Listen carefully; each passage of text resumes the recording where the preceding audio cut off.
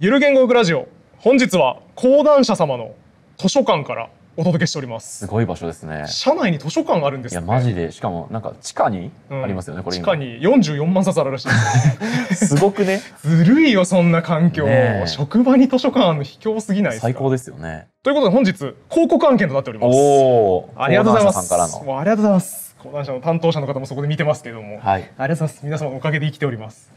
しかもねうん。僕もともと読んでた漫画の広告案件なんですよ。そうなんだ。嬉しいのなの。面白いなーって思ってた漫画の広告してくださいって言われたからあ、そうだったんですか。やったーと思って渡りに船だと思って喜んでって言って引き受けつつですね、えーギャラ交渉などはちゃんとしてですね。あの相場感これぐらいになっておりますのであのよろしければこのぐらいお出しいただけるといい感じなんですけどって言ってあの無事に快諾いただいたので完璧ですね今日はねニッコニコです僕は。準備は全然しなくていい楽な案件だなと思いながらギャラ交渉だけはしっかりと。しっかりしてね好きな漫画をね0円でやってもいいなっていう好きな漫画の話をちゃんとギャラ交渉してやっているという。いいいい一日ですね今日はね。えーご迷惑おかけしました。申し訳ございません。本当にすいませんこの漫画めっちゃおもろいんですよ。まだ題名を言ってないですよね。はい、あ、はい。じゃあ言いましょう。はい。税金で買った本です。うん。すげえタイトルだよ。そうだね、うん。何それってなりますよね あのざっくり言いますと、はいヤンキーが図書館でバイトを始める漫画うんですね。うんいい取り合わせですね。そうですよねヤンキーかける図書館。意外性があねんま聞いたことないよね。というこの漫画僕はもともと読んだことあったんですけど水野さんはどうでした？僕はねマジで知らなくて、はいはいはい。だから堀本さんが、うん。これ結構有名な漫画ですよねみたいな感じで、うん。多分連絡をくれた時に、うん。やべマジで知らなかった取りこぼしてって。そう。漫画ちょっとね、うん。疎すぎて、うん。僕はマジで初見でしたこれはねちょっと情報感度高いポッドキャスター界隈とかだと、はいはい。割とこの漫画おもろいぞってなってたお仕事漫画はいはないんですね。お仕事漫画はね本当最近やっぱ一大ジャンルとして確立された感じがありますけど図書館来ましたか？しかもさ、まあお仕事漫画の中にもいろいろあってさ、はい。ちょっといまいちかなって思いがちなのは血肉が通ってない漫画、うんうん。あんまり取材とかしてないのかなとかね。想像で書いたかなってやつはあんまちょっとそんなにはまれながちなんですけど、はい。税金で買った本ちゃんと原作の方、うん。図書館勤務経験あります、ああ素晴らしいですちねゃんと働いた上での経験を踏まえて書いてらっしゃるんで、はいはい。めちゃめちゃねのめり込めます、うんうんうん。この漫画の中で出てきてるあるある。はい返却ポストの中で大型図書と文庫本が一斉に返された結果大型図書の中に文庫本が挟まって返却処理されながち。すごいよね。知らんもん。すっごい狭いあるあるでね。いいですねこれ、なんか実際け勤務した人しか経験しないだろうなってやつがね、はもうひしょっちゅう出てくるんですよこれ、うんうん。他にもね図書館員の女性にねうん。性教育の本の話を質問するっていうセクハラとか来がちとかねそういうあるあるがいっぱい出てきますね。出てきましたね。痴漢みたいなやつがかけて ろくでものやついるなって思いました。ねとかあとめちゃくちゃ身の上話をひたすらしまくる客の話を、うん。あーありましたね。ずっと粘着してずはい。っと喋られて困るなみたいうな、ん。あ水野さんもじゃあこれ案件来てから読みました？そうですね。あの、7巻の途中ぐらいまではうん。追いつきま期間した、8巻ですけどギリギリ追いつかなかった。そうですね。週間のペースでこうね なんていうんですかね。こう輪ずつで考えているので僕は。ちょっとあの最新巻まで追いつくっていうことは僕の中では最終目標にはなっていなかった。そういうふうに考えることも可能かと思います。僕はあのちゃんとさっきの水野さんの動向を見てましたけどね、はい。空き時間でなんとか読み終わらないかなって慌てて読んでましたね 間に合ってなかったですね。そうですね。すいません。そこは。まあまあの大丈夫さんがすごい詳しいってことだったので。ねそう僕はね結構リサーチしてきましたから今回。リサーチ？リサーチしてきましたよ。読むことをリサーチだといや思ってるんですよ。まあまあまあ後で説明するんなるほど。でリサーチしてきましたよ水野さんじゃあ7巻まで読んだということで、なんかどういう感想を持ちました？感想ですか？感想は？なんで感想って言ってるけど自信ない。ありますよ感想。ああります。ぜひぜひ。図書館について全然知らなかったなと思って面白かったなと思いました、はい。小児小児の感想と一緒ですよね。え？なんか感想聞かれたから今言ったんです いろいろ知らないことが出てきてね。いっぱい知らないなと思って、うん。へえと思いました。へーと思いました。はいっていうねの、うん。水野さんの感想はちょっとやりすぎにしても、うん。ちょっとこうね漫画読んで面白かったなっていう感想を言うのってちょっと誰でもできるというか案件動画としてねちょっと聞き味悪いものになるんじゃないかなという不安がありまして、はい。えーぼ僕はですねちゃんと今回この本読んでまいりました。うん。図書館情報学概論 これ読んできましたね。え何ページあるのこれ？これ400ページぐらいね。あってハードカバーで。はい。5000円コースだなこれはもう。これはですね4300円プラス税ですうんねさすが。ねはいこれでもあの大学の図書館情報学とかでも使われてるアメリカの標準的なテキストの翻訳、そうなんだよね。あの図書館情報学っていう学問ジャンルがね、うん。あるんだよね。ご存知ですか？あのね僕へえと思った覚えが、なんか慶応かなんかにさ、はいはい。図書館学専攻みたいなコースがあったような気がするんだよ。あるかも。あるよね。かも。やべえ俺母校だけど知らねえや文学部の中に確かぶら下がってて、聞いたことある気がする、でそう図書館学ってなんやねんってうん。思った覚えがあるんですよね。何をそんなやることがあるんだろうと思って。ただなんか面白い入門書みたいなのあんまりなくてどうしても図書館で調べると図書館をこう使い倒せみたいな、はいはいはい。みたいな本が結構出てくるからあ,、ね。んまり僕は勉強したことはないんですけど存在は知ってました。これはね学問としてちゃんとあってですね。うん、そしてむちゃくちゃあのホットな学問です。図書館情報。図書館情報学が。え？めちゃくちゃホットよ。いや今だって生成 AI とかで あのでまた舐めてるでしょ水野さん。図書館情報学。だって俺の生活にあんま関係なさそうだし。うん。あー図書館情報学概論。この本の中にちゃんと立候されている章として、IT リテラシー。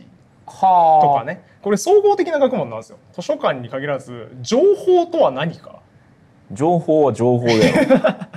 情報を効率的に貯めておくためにはどうしたらいいのかとかはあ情報の定義みたいなところから踏み込んでるんで情報は情報やろって言ってる思考停止してる水野さんにはぜひ学んでほしい学問だと思いますね。おも今聞いてて思いましたけど、うん。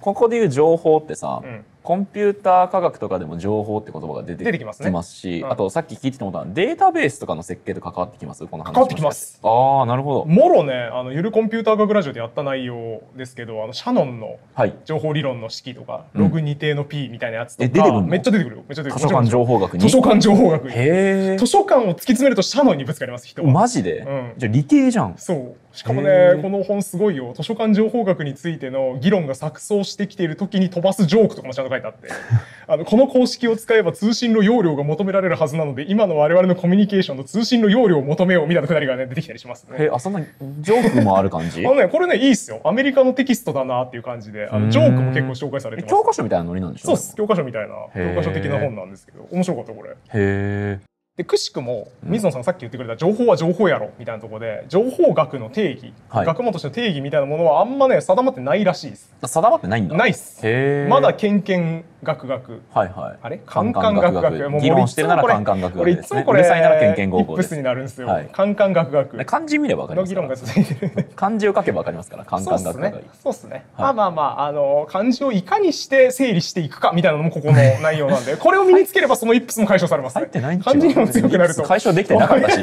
だし説得力も全くないけ説得力が1ミリもない。どねうん。まあまあそういう可能性あの情報を総合的に扱うんで。いやこれもさすごくてさこれもだから。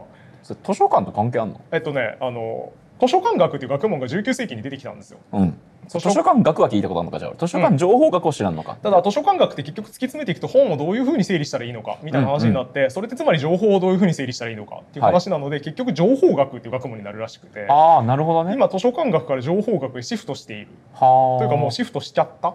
はははみたいな感じらしくて。この本ではねあの図書館情報学概論というタイトルなのにずっと情報学って言い続けてましたあ図書館情報学のこと？だから総称で図書館情報学って言ってるだけで情報学って言い続けてましたね。へえ。で今水野さんが言ってくれたのはその通りでこれどっから扱うんだっていう話に関しては、えー議論がそっちもそちらも分かれてまして情報学の領域どこからどこまでなのかいろんな学者によって立場あるらしくてですね、えー一番古くから扱おうとしてる人いつ頃から扱おうとしてると思います？まあだからその19世紀とか20世紀ぐらいにそういうこと考え始めたんじゃなはいいかなはいはいはい、えー全然違いますね。宇宙開闢から。で すはい。盛りましたね。書いてあります書いてあります。明治さんです。筆滑ってるやん。宇宙開闢から。宇宙開闢から扱った方がいいっていう立場の人もいる。いや昴生さんが黒字で「ままで OK」って書くよそれ。へ本当に言い過ぎでは？っていう指摘がもしかしたら入ってるかもしれないです。うん。あのっていう立場の人もいるらしいです。えそれは嘘やろ。宇宙創生からってお前ってな宇るけどな。宙開闢からちょっと扱った方がいいといそう立場もあるらしいんですが、まあ、はいその辺の話もねあの多分全部やってると全然時間なくなるんで、うん。今回何が最初言いたかったかというと図書館情報学という学問があるよそしてこの情報学定義割れがちだよ。っていうことですね、うん。なんかもうえっ、と図書館情報学の案件みたいにな 大丈夫ですか？うん。大丈夫です。今からあの慌てて戻していきます。ます。意外と前提の説明が長くなっちゃって僕も今やべってなってますね、はいはい。若干講談社の担当者の方が苦笑いしてたんで 急いで戻そうって今義務感に駆られてしっますかり行きましょう。はい。でもね一個だけね水野さんの好きそうなあの情報学の定義、うん。これ今50ぐらい割れてるらしいんですけど、五十？うん、いろんな人によっていろんな立場があるからへ言われえ。てるらしいんですがあの水野さんの好きそうな定義1個紹介しておきます、はい。悪魔の辞典っぽい定義。はいはいはい。アンブロスビアーズの、はい。以前に図書館学と呼んでいたものを交渉にしようという利己的な取り組み。っ あいいですね。ていう定義も載ってましたこの本の中には。ジョーク入れてきますね。って言ってる人もいる。はあ。自重的に言ってる人もいるらしいです。はいはいまあ、ということで今回はあのあんまり定義厳密に喋らずに、まあ、いい感じに情報をまとめていく。そしてそれは図書館運営に通ずる学問らしいよっていうぐらいの解像度でうん。やっていきたいと思います。はい。とい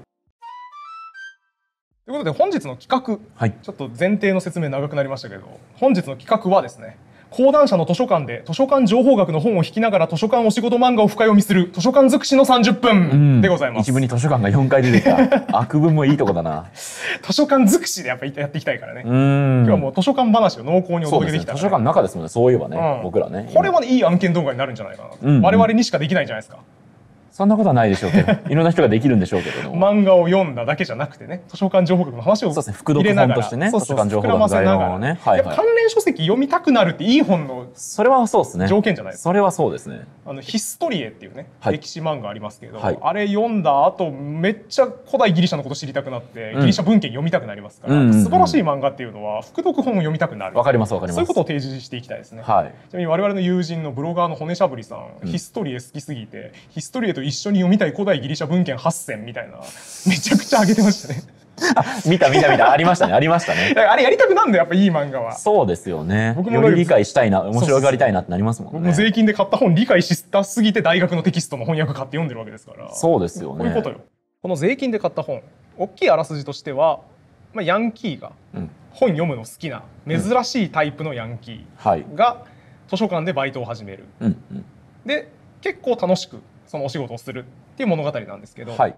2巻に収録されている第10話「屋根裏の散歩者はい」はそんな楽しそうな主人公ヤンキーの友達のヤンキはい。ーがあいつなんでこんな楽しそうなんだなだろうなっていうのを見に来るところから始まるんですね。同じコミュニティにいるんだけどそいつだけその図書館でね働き始めちゃってなんだこいつってなるんですよね。だからちょっと羨ましいんでしょうね。はい。な。んかあいつキラキラしてるんじゃないかと思って見に来るはいっていうあらすじの物語になってましてはい最初は素直になれないからさ。うん。隠れたりとかしながら「いやいや全然全然俺本とか読まねえし」って悪態ついてるんですが最終的には読書への第一歩を踏み出す。うん。主人公たちに感化されて読書への第一歩を踏み出すってちょっと心温まる。はい。いい話なんですよね。うんうん。これ多分普通の人が読むとというか水野さんが読むといい話だなそうですね。っていう結論にしかならないと思うんですけど、はい。これね図書館情報学です。そんなことはない。これ図書館情報学。これ図書館情報め学ですか？ちゃめちゃ図書館情報学。めちゃくちゃ図書館情そう報学なんんですすなでよ。かあのもうまんまこの図書館情報学概論における第9章ですね。うん。情報行動 この概念がめちゃくちゃ詰まっている。情報行動。情報行動。そんな行動したことないですけどのね下敷きに書かれてます間違いなく。いや間違いなく参考文献上がってましたけど多分入ってなかった原作隋野先生はねあの言ってない恥ずかしいから言ってない。賢ぶるのが恥ずかしいから言ってないだけで多分これ読んでると思います、ね、あそうですか。なるほど。わざわざ上げるまでもないぐないかららいのね、あもうそうバイブルだから。こってことですか？んこんな本当然読んでるでしょ？ってなるほ当然下敷きにしてると思います、ちょっと詳しく聞きたいですね。はい。このエピソードの中でね象徴的なセリフがあるんですよ。はいそれは女性のすごく優しい図書館員さんうん。早瀬丸さんうん。がこのヤンキー少年に対して優しく対応してるんですねずっと。はい。でこのヤンキー少年が「何知りたくてお前来たんだよ」みたいなことを聞かれた時に「いや別に俺そういうのないし」ってもごもごしてたら優しい早瀬丸さんがねにっこりしながら言うんですよ。図書館では何を知りたくて来たのか話す必要はないですって言うんですよね。うんうん。だからもうそんな明確に答えられなくても来ていいんだよっていうことを言っている優しいセリフなんですけど、うんうん。これはですね完全にウィルソン1981あるいはケース2007ですね。間違いないですなんか論文の引用始まりました？これはあの図書館情報学の情報行動と言われる概念の中ではいはい。非常に大事な位置づけをされている概念、ねたただの普通のね利用客の話でしたけど今。は非常に大事な概念で情報ニーズっていう概念があるんですよ。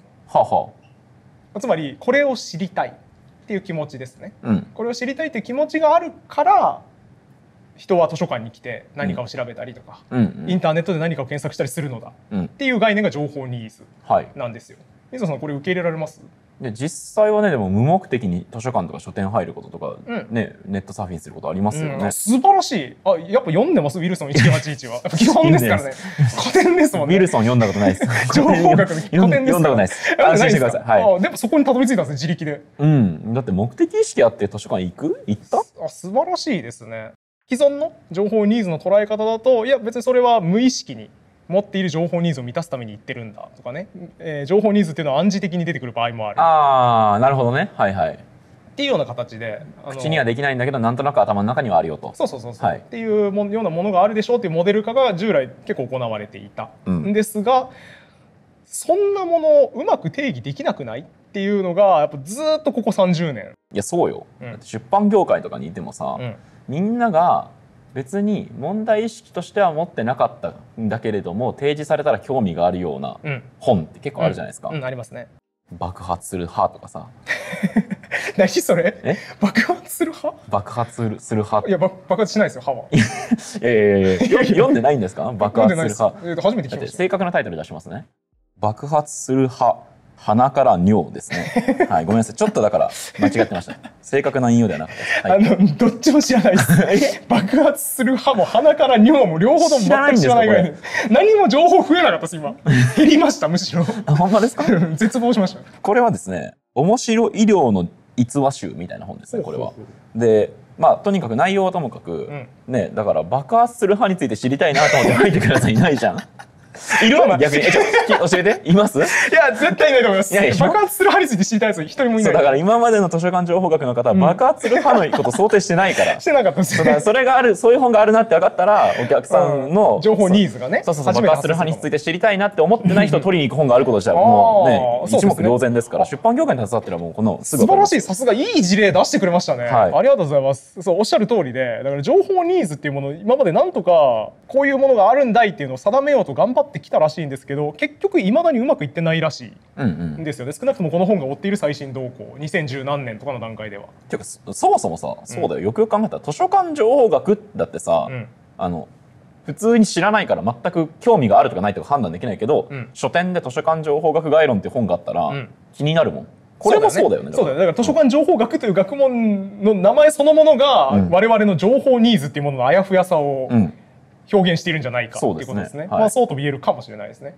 まあその辺の議論をしてるやっぱ旗振りの役割の人がウィルソンとかケイスとかうんうん。なんで、この早瀬丸さんのセリフもねうん。何を知りたいかなんてこと別に言えなくてもいいんだよっていうのはまあ情報ニーズっていうのはそもそもあやふやであって今学者最先端の学者ですら定義がうまくいってないっていうことを示した案に示した早瀬丸さんの言動ですよね。なるほど。ウィルソン1981ケース2007あたりを元にして書かれてますよね。なるほど。これちょっと参考文献にあげないとまずいですね。まずいですね。そうだからちょっと忘れれてると思うんでね、あの担当編集の方いらっしゃるんで、あうん。の次の巻から忘れないように 掲載しておいただければ、前うん気をつけてください。それか客中とかでもあの発言の真下とかのコマにねあ、入れとく。みたいなことすると入れとく、そうですね。カ丁寧ッコケースかもしれない2007 入れといた方がいいです。気持ち悪い漫画気持ち悪い見た漫画ことないな、その漫画。あんなねおあのお姉さんの発言の下にねちゃんと引用文献とか書いてあって,、気持ち悪い漫画やなやって語尾に書いてある面白いですね。図書館では何を知りたいか言う必要はないのよ。カッコケース2007。テンポ悪い気散るな、その漫画。テンポ悪いねその漫画そうですね。はあなるほどでもあ、勉。強になりますねそうか、水野さん若干ピンときてなかった。あれか、ケース2012ってもっと新しい論文もある す。すみません。そこが気になってたんですよ、水野さん。あウィルソンのや古いの引くなじゃなくて別に5年前のやつ引くなっていうのが気になってたあじゃないじゃないそのウィルソンの最新論文の方を上げてくれよとかってツッコミにはならないです別にそこは皆さんあの気をつけてください。ケース2007でもいいですけど、2012ってより新しい論文がブラッシュアップされてますんで、同じようなこと言ってます。特に指摘指摘としては同じです。あの僕にとっては情報ニーズのない話です失礼しました。とはいえね、はい。まあこれ聞いた人ちょっといや深読みが過ぎるんじゃないですかってお思いになった方も多いと思まうんですよ。あ大方ね間違ってるでしょうから、いやいや今のセリフ1個から僕言ってるわけじゃないんですよ。あ。このエピソード他にもやっぱこう言い切れる根拠がありまして。情報ニーズについて書いてるのではそうですね。ていうかまあ情報行動。情報行動あごめんなさい情報行動ってジャンルがあって、その中の一つ一要素が情報ニーズなんですけど、情報コードの啓発漫画であるとそう他にも、はいはいというかこの2巻10話ですね。うんあ2なるほど巻に収録されている10話は情報行動について書いているエピソード。漫画でわかる情報コードそうです。売れなそうその本。何漫画でわかる情報行動？いらん わかりたいと思ってるやついないよ。なるほどでも10話にね。そうですそうです。証拠が証拠がもう他にもあるんですよ。雄弁にあるわけですから。そうそう。今は情報ニーズって話絞ってお話したんですけど、他にもありまして。すごいね概論みたいになってんだね。いろんないろんな要素が学べる。はい。情報スタイルうん。もちゃんと扱ってますね。この2巻10話で。情報行動というのジャンルの中に情報スタイルっていう概概念があるわけですね。はい。まあこれは一人一人の行動する主体がいろいろな特性に応じて行動しますよ。うんうん。だから人によって動きが違います。っていうことですねうん。うんちょっともう少し具体的に。だからこれ群衆として捉えちゃうとうん。群衆って言うんだ。群衆そうそうそう。いや群衆じゃないですかあ大量に人が来るんだから。利用客ではなくて。群衆でしょう人がいっぱい集まってたら群衆でしょうそれは。王として育てられてるこいつ。ちっちゃい頃から。僕ちょっと自意識が王なんで。なるほど。なるほど群衆として捉えちゃうとね、うん。A というタイプの人と B というタイプの人全然違うのに平均値を取っちゃうとそれが潰れちゃうじゃないですか、えー、と例えばですけど図書館に来た時に一度に1,000冊の本を読む軍の人たちと、うん。そんな人たちいねえな。どういう例えなの？それは何が説明したいの？一日に1,000冊読む人がいるとするじゃないですかあす行こうとしてる このまま。A の軍は。あるぞこれ。で B の軍は1日に1冊しか読まないとするじゃないですか、平均値取っちゃうと500冊とかになっちゃいますねでもそれおかしいですよね。例えがおかしい。ね 例えがおかしいからですそれは。あくまで A の軍と B の軍で全然違うので A の軍を研究対象として B の軍を研究対象とするべきじゃないですか、うん。A の群が気になりすぎて A だけ研究したいですけど、はい。まあ、とにかく平均を取るとね実態から離れるっていう例ですね。よくないからこ個別にいろいろ見ていった方がいいですよっていう話だと思う、すみません僕ちょっとこの概論一冊読んだ程度なんで、はい正確な理解かわかんないですけどそういう話だと思う、だから団体としてマクロな目線で見るんじゃなくてそういうスタイルに関して言えばもっとミクロな視点でし調べましょう見た方がいいよよねって、あはい。もちろんマクロで見た時に得られるものもあるんでしょうけど、はいはい。まあミクロで見る必要もあるよねっていうことは言われてる、はいこれを体現してるまたまた出ました女性図書館員さん、うん。早瀬丸さんのセリフ。また早瀬丸さんだ。さっきのヤンキー少年がね、うん。俺本とか苦手だからさって言ってたやつがちょっと一歩踏み出して読んでみよっかしらってなっている時に、やっぱ読み始めるんだけどいや漢字とかやっぱ読めないやつ多いなってなって、はいはい。ちょっと辛いんだよね。あるよね。ってなった時にうん。あ朗読 CD とかだったらどうだろううん。っていう話になるんですよそして早瀬丸さんの一言。目の不自由な人とか耳で聞いた方が頭に入りやすいっていう人もいるからね。って優しく言ってあげるんです。よ、うんうんうん。完璧ですね。LINE1998 ですね。間違いないですねこれは。書いてありましたけどそんなこと？LINE1998 あ書いてあった気がします。あのそう耳でどんな感じ耳で聞いた方が頭に入りやすいって人もいるからね。かっこ LINE1998 書いてありました。書いてありました。書いてありました。あ書いてあ漫画には テンポ悪い漫画っすね。案件動画でめっちゃ嘘つくのまずいんであの書いてなかったです。書いてなかった。僕にはそう読めました。そういう風に読めたのね。そうまるでそう書いてあるかのようになるほど。ありありと。ありありとありありと書きました、はい LINE1998 はい。なるほど。LINE1998 の指摘としてはですね全ての人はそもそも個人であり、うん。それぞれのやり方で情報を探し利用する、はい。ということが明記されてまして、うんうん。ちゃんといろんなタイプに分けて考えないといけないよねってうんいうことを主張してます。本ってね本読めるって結構特殊技能だなと思いますからね。そうだよね。あのプルーストとイカっていうねはいはい。本ご存知ですかね？知ってますよ。あタイトルだけめっちゃ面白いなと思ってはい、読んでないですけど。読書した時に、まあ、脳の中でどういうようなことをしているのかみたいなことが書いてあるんですけど、やっぱすごいですよね。よくよく考えたらパッと目で見たものの文字を情まず見て、うん。文字を識別するし、うん。構文も取るし、うん。そしてその内容をもとに頭に何か浮かべたり内容を整理するわけじゃないですか、うん。まあ、普通それって結構高度な技だなと思いますもんね。文字の羅列ばっかりでさ集中力維持してここ何が言いたいんだろうなって考え続けるの結構難しいよね。私やっぱ読書初心者の頃自分も読んでてあれ？さっきの内容何だったっけ？とかああるあるあるそう目だけ滑るみたいな目滑るみたいなことめちゃくちゃ起きたと思いますしね。でもさ読書慣れてくるとさもう目滑ってると状態化しててさあそうそうそう気そうだからそうなんだよね。あの読めてるんじゃなくて目が滑り続けてる。目が滑るのに慣れてるだけだよ。いやそうそうそうそうわかる。なんか目滑った自分を受け入れるとそうそうそう読書ってできるようになるもんあのね僕もここであのはっきり申し上げておきますけど図書館情報学概論。あの、うん。結構ちゃんとしたテキストでして、あの厳密な交渉を行っている部分があるんですけど、はい。目が滑っておりました。はっきりと言うんですここで。で今口も滑ってるわけ。全滑りじゃん。LINE1988 って書いてありましたって言ってますからね。すごい、ね、目も口も滑りまくってる滑ね。最近あのビジュアル進化の仕組み？ビジュアル進化水野さんなんかで言ってた気するないや言ったことないと思う。言ったことないけど最近出た本で、うん。そのかんの脳で考えるときに視覚的なイメージで考える人が一部いるよっていうことを書いた本があって、まあ、ちょっとまだ読めてないんですけど、うん。だからやっぱその取り込むスタイルもそうだし考えるスタイルも全然人によって違うんだろうな。なんかあの美大の人？芸大の人とかと喋った時もやっぱり、その言葉にする時っていうのはまず頭に絵が浮かんでいて、うん。それを言葉に置き換えて説明してるみたいなこと言ってて。マジかよって思って俺全然そそういうのないんだけどそういう人もいるんだなっていうのを思ったんで。まず図で考えるっていう人いるよね。いる。だから何かを思考整理しようって言った時おもむろに絵描き始める人いてさ。うんマジかってないやマジかってなるよね。我々多分やっぱ言語好きだから、うん。言葉で考えたいからちょっとそこ全然違うなとびっくりします、そうそうそう。なんかその人だからこれ人と喋ってた後にうん。その人をこうモチーフになんかこうイメージがやっぱ浮かぶらしいので、えっとだから古典ラジオの室越さんっうん。ているじゃないですか。うん。彼がそういうまあ図像的なイメージ、うんうん。絵で考えるような人に「俺ってどういう感じのイメージ?」って聞いたら「壊滅を求めている川の長い藻」って言われたらしくて。も「藻」もに見えてんの室越さんが。壊滅を求めている。壊壊滅を求めている、はい。もう一回壊滅壊滅を求めてる川の長い藻。長いもに見えて彼るはあの海藻だと思われた 室越さん結構滑腹いいですけどね。いい。全然細長くない。ねわかめとかと同じ族でしょうよ。もずくとか。なんでそう見えるんだろう不思議だね。不思議そう。あって言われれたみたいなこと言っててやっぱタイプ違いますね、うん。認識のタイプって違う。うん。だからそうそうそうそういう人もいるんだなと思ったんで、情報スタイルも多分ね千差万別人によってね情報の取り方でやっぱ全然違うんですよね、そんな情報スタイルについてここだけじゃなくて、うん。さらにねおちんに至るまで。おちん？おちん？におちに至るまあおちではいはいはいはい。その君になんかちっちゃく下ネタ言ったのかな。おちんって言わないですよ僕ちっちゃい声で下ネタ言いたくないんですよそうですか。おちに至るまでねはい。この第2巻の第10話うん。は情報スタイルの話をしてて、うん。図書館に来て結局このヤンキー少年ってあなんかお前のこと分かった気がするって言って帰っていくんですよ。はい。だからそのヤンキー主人公うん。バイトしてる主人公の気持ちが分かったって言って納得して帰っていく。はいはい。だからまあ言うたら彼はまあ本読みに来たんだけど、うん。主目的は本読むことじゃなくて結局ヤンキー主人公の気持ちを理解してうん。彼からどういう人間なのかっていう情報を得るのが最終的な目的だった。っはい。ていう感じのオチになってうん「お前バカじゃん。俺のこと知るために来たのかよ」って言って終わるんですよね。これ完全にあれですよね。はい。ん。あれですよね。あれ？パーマ？ーパいや当てたけど。パーマーいや違う違うパーマー当てた話どうでもいいんですよ。あんたの髪型どうでもいいえ？パーマー1991です。知らないです。知らないです。随の2023です。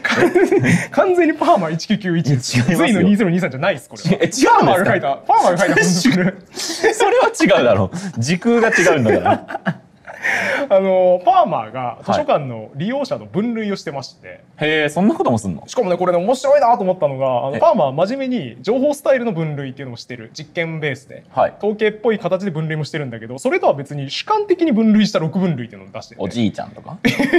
まあ、でもマジで下手するとそういうレベル。へえ何それ？気になる。次々集まってくる実験者を見ながらこのパーマーが。実験者って言っても利用客でしょ？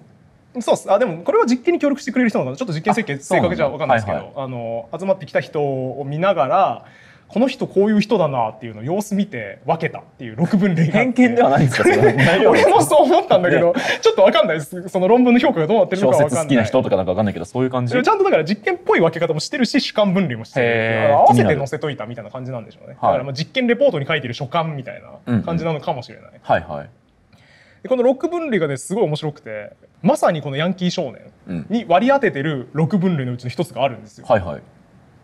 能率が低いものと書いて低能率者です。は悪口じゃないですか。あの本など体系的にまとめられた情報がね、非常にいい情報源があるにもかかわらずそれをあまり利用せずに、えー友達に聞くやついやもう悪口じゃんただの違うすよ違うすよ。パーマーによる分類です。6分類。パーマーによる。学者の名を借り方の悪口やんそれ。情報スタイル6分類のうち一つ。非常に立派なねあちゃんと論文にも掲載されている低能率者っていううん論文に載ってるからといってねこれをねこれをちゃんと覚えておくべきですね。非常に有用。だからまあこのヤンキー少年を見た時に主人公はねうん「お前バカじゃん」って言ってましたけどあれ正しくてただの悪口なんであんな良くないです。続編あの重版分から変えたい。そう重版分から変えるべきね、訂正すべき。どういうふうに？ん。重版分では、うん。お前低能率者じゃん。これですね。でカッコ完璧です。パーマそう過去パーマー1991そんな完璧な漫画。そんなセリフ聞いたことなくないですか？だって漫画で。カッコって。だから出典書いてないのがね？現在の漫画界における由々しき問題なんでそこに取り組んでいただきたいですね講談社様には。確かにね。図書館のね著作権とかすごく扱ってましたよね。そうあ話の税金で買った本の中にもね3巻かな、うんうん。に出てきますから複製と著作権の問題引用の問題って出てきページをね写真とスマホで写真撮るような子に対してね。条件はこういうのを満たさないといけないですよってやってますから、これはちゃんと引用の要件満たしてほしいですね。パーマー1991はちゃんと書いておいてほしい。引用してなかったですからね 別にだって。引用してるとしか思えないですからだって。今見見ました？3つ出てきましたよ。堀野さん引用ってのは原文ままで載せることなんですよ。あの本案してます。仮に仮にパーマーの影響を受けたとしても本案してるので、はい、著作権者に許可を取ってってやる必要があるので、はい、適法な引用ではないですえでもこの低能率者めっちゃ良くない？低能率者はめっちゃ良くないですよ。いやだからさみんなさググレカスとか適当に使ってるじゃん、はい。あれもなんか良くない汚い言葉ですね。カスとか言って。なるほどね。カスとか良くないですね。ちゃんと低能率者かっこパーマ1991って送るといいですね。悪い。悪いですそれも。友達からね「何々ってどうなってんだっけ?」って聞かれた時に低能率者かっこパーマ1991完璧。あ LINE スタンプ出したら儲かりますかねこれ。儲からないです。図書館情報学あとあのそれスタンプ。で適法な引用になってないんで結局許可を取ってください。パーマーにパーマは難しい。えでもパーマはシャレわかると思うんだよな多分な。あ主観的な分類書いちゃうぐらいだから。あそうですね、うん。僕も結構そのなんだ？調べればわかるやんってこと友達から聞かれるんですよね、うんなんかインボイスのことよくわかんないとか、うん。なんかわかんないけあーあどりますね。ニーサってどうやればいいのとか来るんですけど、うん。そういう時にそういうスタンプがうん。あればそれを繰り返せばいいっていうことなんですよねそうですね。完璧なパーマ1991とスタンプにするのを検討しておきます。ありがとうございます。グググレカスに変わる言葉に 変わる言葉。流行らせていきたいですね。パーマはい1991いやでもさ、い。パーマ1991すごくて。パーマーの話ばっかするよ。マジで。俺ねもう税金で買った本をねあの僕のルートを喋っておきますと、はい。まずこれ前回読んで、うん。期間前回読んでる状態でこれ読んでうん。図書館情報学会を読んで、はい。もう一回税金で買った本前回読み直してみたんですよ。はいはい。そしたらもう全部パーマ1991の話にしか思えなくなってすごいこれ。え？パーマは特に引いてるんだ。じゃあそう。いろいろパーマー推しですねあそのあのー図書館情報学一通り抑えたんだけれども。いろいろ推してますよ。ウィルソンとか、うん。ケースとかも推してるし、はい。まあ、ただいろんな人を推してる中でも特にパーマーがやっぱ随野先生お好きだとお見受けしましたね。はあ。そうですね。随野先生あの公式見解出していただいてもいいですけど。多分特にパーマーの中の推し論文とかあると思うんであそういう感じなんですかそれを教えていただけるとすごいいいですね。どこがそう思ったんですか？これさ物語全体を通して、うん。主題もパーマー1991なんですよ。ん あの主題は図書館。物語。いや図書館でヤンキー少年が働いていくっていうこの全て。はい。税金で買った本のあらすじ全てを通して描きたいものはパーマ1991でして、はあはあちょっと詳しく聞きましょうか。というのもですね。はい。このヤンキー主人公ヤンキーなんですけどヤンキーなのに特徴的な傾向がありますよね。うん。それ何ですか水野さん。本を読む。本を読む。やちょっとあの浅い。浅い。もうちょっとだけあの内面で言うと。あ知的好奇心が旺盛。そうですよね、はい。知的好奇心がめちゃめちゃ旺盛で。で行動力があると。そうですね。知りたいってなったらもうそれを突き詰める。はい。っていうこの類型、うん。情報スタイル。うん。これさっきの主観的な分類じゃなくて、はいはい。ちゃんとある程度実験的にうん。客観的に検証可能な分類をパーマは出してまして、うん。これ名前ついてるんですけど自信に満ちた収集家。っほうなんかていう名前ちょっとおしゃれながついてるんです、ね、感じだ。はいこれどういう点が自信に満ちたかというと時流に乗るとかうん。必要に応じてキャッチアップするとかじゃなくて己の蓄積させた情報コレクションっうん。ていうのをどんどん蓄積させていく。情報コレコレクションどんすごい適当に翻訳すると、まあ、好きなことをひたすら突き詰めて、はいいはい。はいっぱい収集する人。なるほど。調べ物好きな人だこれとは違う類型でハンターっていうのがあったりするんだけどはい。ハンターはちゃんとタイミングに応じて必要に応じてキャッチアップしていくみたいなイメージだと思う、はい。かなり曖昧な理解ですけど、はい。なので主人公は完全に自信に満ちた収集家タイプなんですよ、うんうん。好きなこと知りたいからどんどん調べる。そしておそらく水野さんもそうですね、そうですね。僕もそっち側ですね。うん、知りたいなこれって言って狙いを定めていくひたすらそれれを掘っていくよね、はい。したがって彼が自信に満ちた収集家であることは間違いないんですがこれ物語のさ最初の方2巻のドア玉でさうん。すごいかっこ悪いシーンっていうのがあるんですよ。主人公主人公がかっこ悪いシーン。ははは覚えてます？いや全然思い出せないですね。昨日読んだからね、うん。昨日のことも何も記憶にそうないからね。昨日読んだ本なのでやっぱり。税金で買った本の言い方に載せないでください ああそうですか。ごめんなさい。昨日読んだ本の中にはねこういうのが出てきました、主人公が「お前図書館でバイトなんかして賢くなりたいつもりかよ」と。はあはいはい。勉強なんかして楽しいのかよって昔のヤンキー仲間に言われて、うんどう反応したか覚えてます？なんかごまかしてなかった？そうっす、はい。い、や別に俺バイトしてるだけだしみたいな。そんななんかその別にねえしお勉強とかみたいな感じでうんうん。否定するんですよ、はい。で後から他の図書館員の人に「あれかっこ悪いね君」ってめっちゃバカにされて言われてましたね。ーってなるっていうエピソードが出てくるんですよ。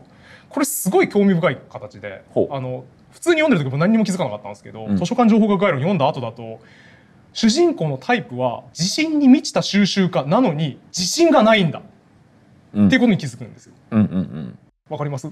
いやあの 言ってることはわかりますけど、うん。そのさも大反対みたいに言われても。えすごないこれ。自信に満ちた収集家っていうタイプが彼に割り当てられてるのに自信がないキャラクター像として描かれてるんですよ、あー。非常に対照的な文学的な描かれ方じゃないですか。あーでもまあ確かにそうですね。彼の行動なんかそのもう56巻とかのうん。もっと開き直った時期だったら絶対そんな行動を取らないので、ならないんですけどやっぱバイトしたての頃は確かにね。あーまあそうかそうか。そういう意味では意外性のある行動なのか、うんということであだからこれ自信に満ちた収集家なのに自信がないんだっていうことに気がついて、はいはい、まずちょっと僕ここで一個驚きがあったんです。ようん。意外性があるキャラクターだなと。そうですね、はい。まあ、いいキャラクター設定だな。対称性があって美しいな、はい。ここからまたねもうさらに巻き返しがあってはい。主人公こっからどんどん自信を獲得していくんですよ。うんうん。そうですね。俺はこういうところで働いていてどうやら知識を得るのが好きなんだっていうことをちゃんと受け入れていって、はい後ろの方ではもう自信満々に、満々ですよね。俺好きなんだよね。これの知る知るの。知識を増やすの好きなんだよねって堂々と言うようになるじゃないですか、はい。つまり自信が最初はなかった自信に満ちた収集家っていうミスマッチだったキャラクターである主人公が、うん。名実ともに自信を獲得していくまでの物語なんですよ。なるほど。これは担当編集とかも読んでるん出ますよね。絶対必読書ですよね。そういうことじゃないですか。隋の先生はもちろん担当編集者まで全員パーマ1991読んで書いてますね。打。ち合わせの時とかにね。ね。パーマ1991の最初こうギャップがある状態から戻していくっていう物語でどうでしょうみたいな、いいねそういう提案してるみたいな感じなんじゃないですか。自信がない自信に満ちた収集家っていいモチーフだと思うんだよね。それだってファミレスで夜中の打ち合わせで出てるでしょうね。はあいやインテリですねやっぱり、さすがですわ講談社は。レベルが高い。はというね完璧な漫画になっておりますんあで。これはちょっと完全に下敷きにしてるんじゃないですか？間違いないですね。だからもうこれ読んでる間はずっとパーマ1991だなって皆さん読み思いながら読むのが正しい読み方です。間違いないです。漫画でわかるパーマパーマ1991 狭いな。わからんで。漫画で。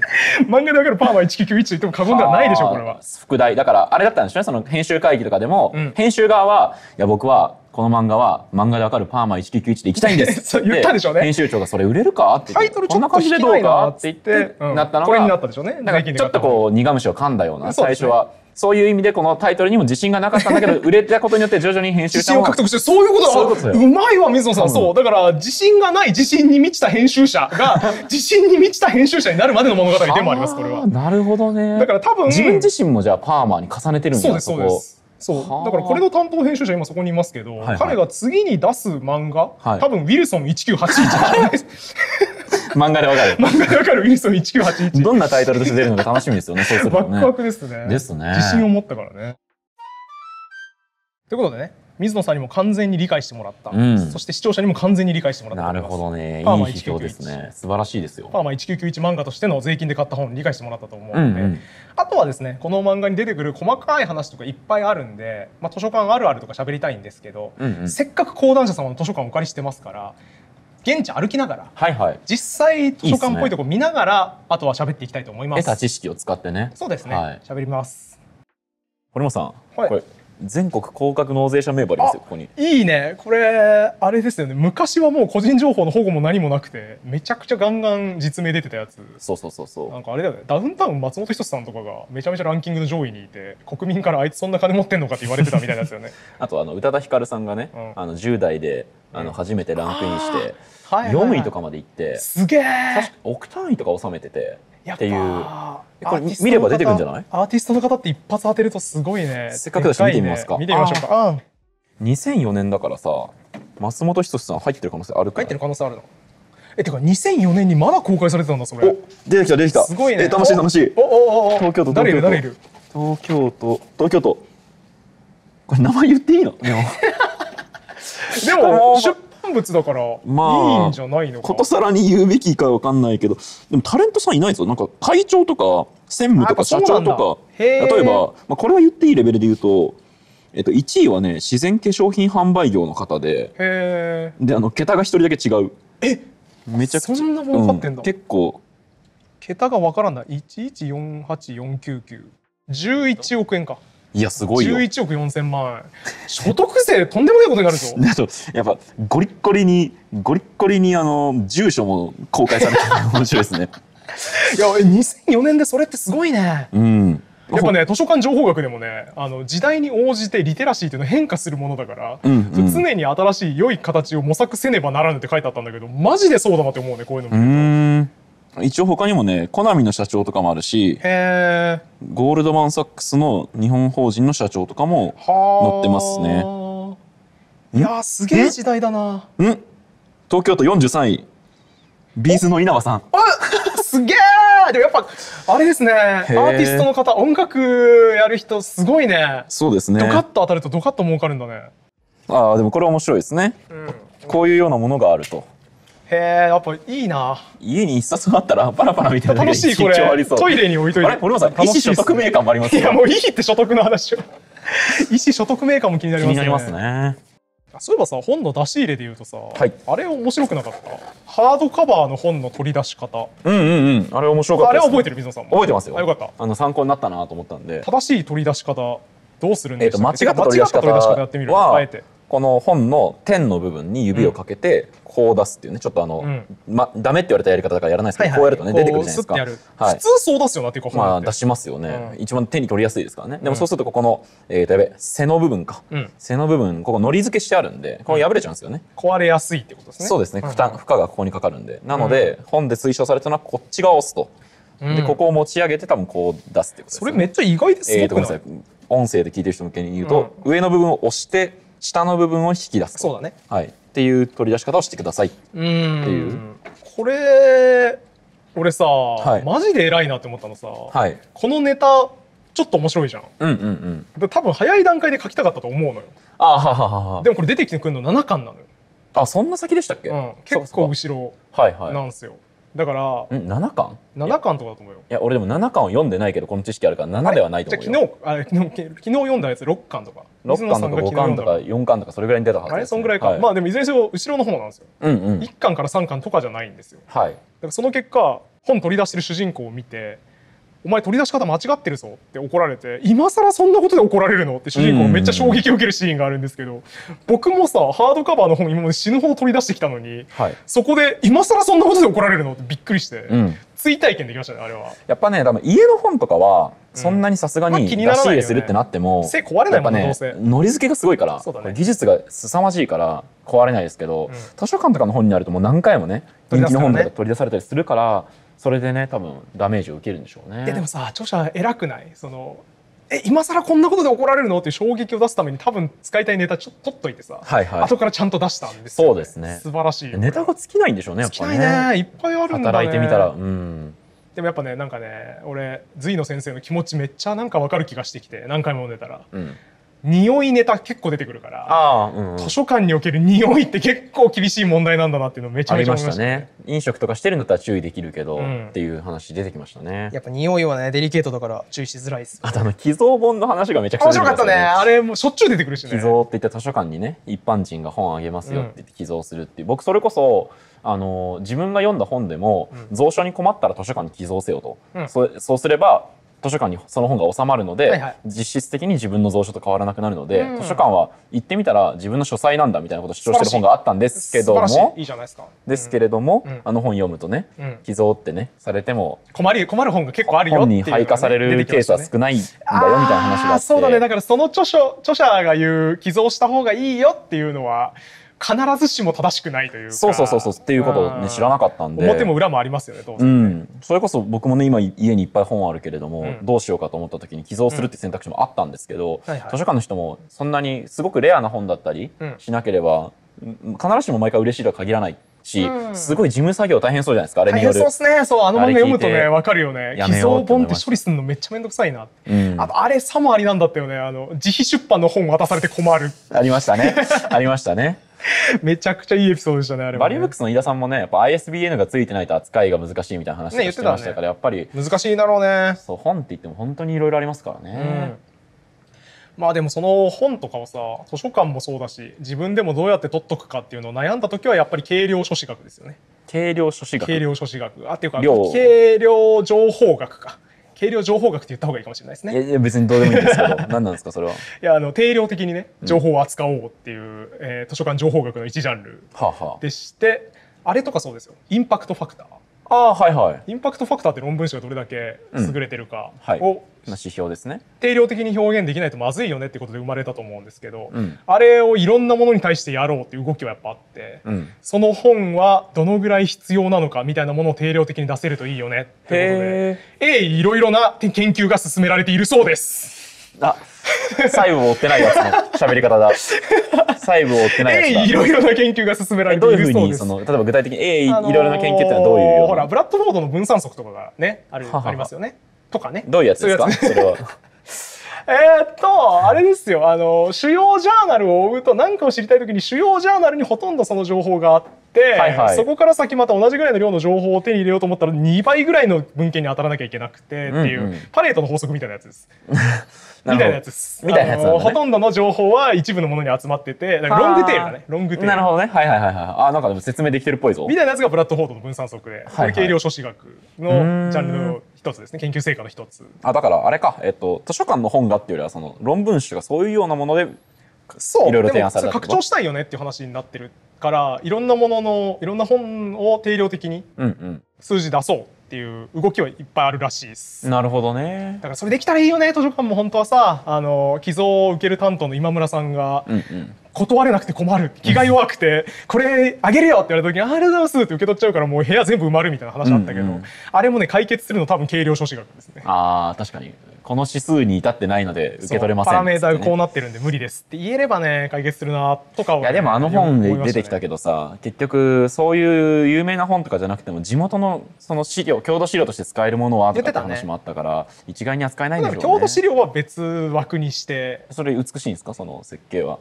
許せるんですか？郷土資料ポイントを加算させて 資料は全国で違うじゃん。だからう全国で違うじゃない？それは。ん。この本についてつくポイントがさあだからあれですよ。あの今図書館のある位置から距離が離れれば離れるほどポイントが減るような逆に上、ね。逆に上でポイントが減っていくような仕組みにすればいいかもしれないですね。な。るほどね。みたいなことを考えるのもね楽しいんじゃそないですかうですね。うんうん。このガラガラするやつ嬉しくない？このこのね。回すやつ。ちょっと回したら動くやつ。これ楽しいよな。こう行くとね左に動くんですよね。こうこういうふうにこれね大学図書館にあってさ俺。大学図書館のやつさでもポチッとするとウィーンって動くやつ。えあマジで？俺の理系キャンパス慶応の理系キャンパスそれだったよ。え？マジで？しかもねあのこれは今講談社様低めの棚でやってくれてるけど、はい。慶応の理系キャンパスのあったやつもう天井まで高い大学図書館そうっすよね。棚だったせいでうんうん重くて全然動かなくて。あだからこう回してもくるくる回んないねこんな。えーそって。うめちゃめちゃ腕力必要でしたへえうちはねもうなんかボタンを押したらウィーンって動くんでこの中入らないいいなでくださいってハイテクでなってるところでしたね。まあ図書館あんまり大学の図書館利用しなかったんですけども。宝の持ち腐れです。そうなんですよね。今だっただかららねそのこれ回せなくて本棚動かせないとかっていうトラブルを考えるとやっぱり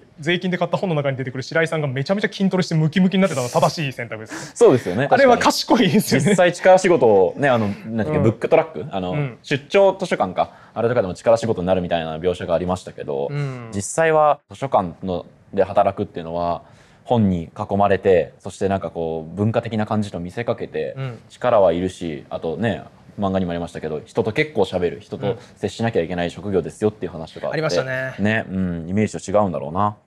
さっきのさ、はい、本が好きだから図書館で働くことにしたのに、うん、人と関わらなきゃいけないっていう話さ、はいはい。これ米国図書館協会会長のサミュエル・グリーンに立脚してるんですよね。この話。そうですか？うん。1888かな？ちょっとそすみません定かでない。定かでないですけど。どうでもいいです。1868ぐらいかもしれなない何年の何年の話かは別にどうでもいいんですけど。彼が言ってたのはやっぱ図書館って地の蓄積とかに意味あるんじゃないかみたいなところに反旗を翻して。はいはい図書館は利用者と気兼ねなく向き合いあらゆる手段で利用者を助けなきゃいけないっていうことを言ったらしくて、はい。やっぱ対人の仕事なんだよねっていうのを今後の基準として示したらしくて。それがやっぱ今にも後世にも多大な影響を残してるらしいから。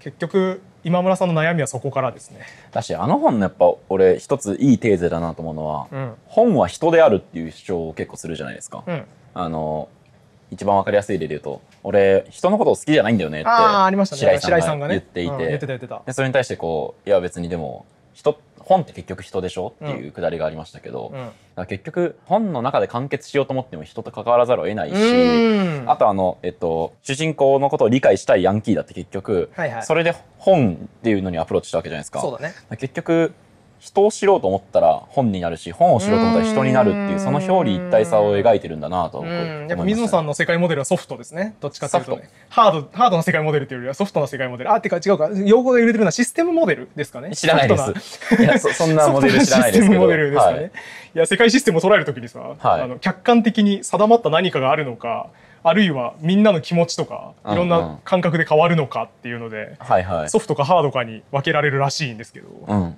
図書館情報学の文脈だと。うん。水野さんはどっちかというとやっぱソフト寄りでしたね。人間がいて初めてそうですね。成り立つものだって思いますけどね。ということで本日は講談社さんの図書館をお借りして税金で買った本の宣伝をしてまいりました、うん税金で買った本またはパーマ1991の 宣伝をしてまいりましたそうですよね。あとあのタイトルの説明全くしてなかったですけど、税金で買った本ってのは図書館の中にある本はね、ね税金で買われている本だね買っていう意味をか。象徴的なね第 1, 第1話が主人公が税金で買った本なんだから弁償しろよって言われるところから始まるっていうところでタイトルになってますね、はい。この漫画めちゃめちゃやっぱあるあるがいっぱい出てくるから、うんうんすごいねそのあるあるを通して本とか図書館に向き合う解像度がすごい上がってあと俺全然共感できないなと思ってたあるあるを今回の台本作ってる途中に急に共感できるようになったんですよ。へえ、どんっていうのもこの税金で買った本の中でしょっちゅう出てくるのがさ本汚しちゃって弁償させられるっていうくだり、はいはい。めっちゃあるじゃないですか、うん何回も出てくるじゃないですかでそんなに本クリティカルに汚しちゃうことないけどなって僕思いながら今回の台本準備してたんですけど、はい。この図書館情報学概論読みながらさ、うん朝コーヒー飲んでたらさ、うんむちゃくちゃコーヒー変なとこに入ってさ、うん。むせちゃってさうーわ。うーわ。これ後であのちゃんとね、静止画で入れましたちゃんとね入れ。ときましょう。うなんかね、あの汚ねえなと思ったのこのうん本のあのえっとやべ名前忘れたけどこのパタンってした時に一番見えるねはいはい。このね閉じた閉じた時に見えてる場所ね、はい汚ねえのよこれ、うんコーヒーぶちまけちゃったうん。ひどいね。汚ねえなおい。コーヒーむせちゃってもう、うん。ブワーってやって 自分の口から出たの？口からコーヒーまき散らして汚しちゃった道理で臭いと思いました？臭くねえわコーヒーの匂いだわどっちかってあ、いうとそうかそうか。まあ、ということであのいや本汚して弁償とかないだろうって思ったんですけどああったわうん、よかったですね。自分で買ったあ本、の図書館で借りてなくそうですね弁て。償にならなくてよかったですね、うん。まあ、ということでねあのなんか本汚した時とかもああこれあの本で見たやつだって感動できたりするんで、うんそういう意味でも税金で買った本おすすめになっております 訴求として合ってんの。自分を許せるようになる本だと思いますね、うん宣伝として合ってんのかな、それ。ということで本が好きな人とか図書館が好きな人は共感できるあるあるがいっぱいあると思いますので、ぜひぜひ読んでみていただければと思いますはい。そしてこの税金で買った本、えー累計90万部突破の大人気図書館漫画なんですがこの第9巻が11月6日月曜日に発売しております。してる。はいはいはい。本日11月7日火曜日なので昨日ちょうど新刊が出たばかりですね、ああ、だからちょっと今ね、手元には8巻までしか並んでないんですけど、うん。9巻もね、あるんですけれども。はい。そう。収録日ではまだ出てないですが、うんうん。公開日にはもう出てます、うん。のでねこれはね後悔させないので一気読み。ですね一気読みしてもらえるといいと思いますね。9巻ならね、もうす。ぐ追いつけるしかもさ、これさ読み終わるの早くない？読み終わるの早くない？結構ザって読めない。あそうだね。うん。うん。割とスムーズに読めるなとはい思って、。デスノートよりもよっぽど早く読みました。はい。非常にデスノートと比べたら大体の漫画がおっせえから。あ全然進まねえよな。文字数がすごいからね。2部のね引き出しひどいからねあのニアの長台詞とかね引き出しが長いから全然入ってこない。すごく。なっけえなっていう、あのに比べると圧倒的に早く読めます。速球として合ってんのかな デスノートに比べて早く読めるパーマ1991の漫画となっております絶対間違ってます。何の漫画かわからん。まあもう発売しておりますんで、はいはい一気読み、えー可能になっておりますし読書の秋ですからね。第11月だから、うん9巻晩秋ですからね。はい。第9巻にはですね「解決ぞろり」とか「寝ない子誰だ」などね、はいはいえー懐かしの本などが登場しますのでねえー僕もまだ読んでないんですけどおそらく解決ぞろりすべての問題をおならで解決しがちという問題を取り上げてくれると思いますね随の先生なら、あるけどね。うん。石シさんと野シシさんとね。はね、い。大体あいつらおならで解決するからな芋食ってなそうですね。はい。あとうんちくっぽいことで言うと学校の図書室の司書さんにも学校司書と司書教諭うん。という2種類がある。これみんなごちゃごちゃにしがちなんですけど区別できますか？みたいな話も載ってるそうですねあ、載ってんだ。これは。それはこれこれ9載ってるんだ。巻に書いてあるので、うんうんうんえーこちらも違い知りたい方はぜひ読んでもらえるといいと思いますね面白そまあ、ちなみに僕はこの図書館情報学概論読んだんでねこの専門知識について専門技能について詳しくなったかと思いきや、えーアメリカの本なんで何にもわからないう。ただ、です 日本の制度何にもわからないね。図書館に関する本いろいろあるからね。なんかそれも読んでみてもいいかもね。これだけじゃなくてね。これ9冊読んだ後にいろいろ手を伸ばしたらもうどんどん広がってて楽しいと思いますね、うんうん。なのでこの漫画最終的には皆さんも自信に満ちた収集家になれるという漫画なんじゃないでしょうかいいですね。今自信なくてもこれ読んで自信持って図書館行ってね。ね師匠さんに聞いたりいっぱい探し方して。興味のままいっぱい収集してたら多分自信に満ちた収集家になれるんじゃないかなと思います。うんということで、えー全国の書店にも並んでおりますし概要欄にもリンクなどありますので皆さんお好みの方法でぜひぜひ税金で買った本お買い求めいただければと思います。ということで今回も終わりにしたいと思います。引き続きチャンネル登録高評価感想のコメントとかね税金で買った本読んだ感想とかも書いてもらえるとね、いいと思います。税金で買った本、漫画ですよね。だから、うん税金で買った本って言って、あの、実際に図書館で借りた本の感想とか書かないやめてほしいですよね。実際にはい税金、トゥルー税金で買った本ではなくフォルス税金で買った本の鍵括弧付きのねそう二重鍵付きのはいはいはい税金で買った本の感想を書いていただけるといいと思いますね、あと皆さんは何を下敷きにして書いてると思うかも教えてほしいですねないでしょうね。ケース2007かケース2012か、うんどっちかっていう考察などもねお待ちしております来ないと思います。はい。ありということで今回も終わりにしましょう。ありがとうございました。がとうございました。ゆる言語学ラジオの初の書籍が出ました。この本の中身はえっとおお、なぜ今、えー、っとって言ったんですか？あのじゃダメなんですか？いやえいや全然わかんないですけど。